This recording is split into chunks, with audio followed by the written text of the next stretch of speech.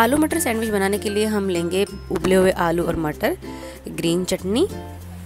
लाल मिर्च पाउडर हल्दी बारीक कटा हुआ प्याज सैंडविच मसाला चीज़ बटर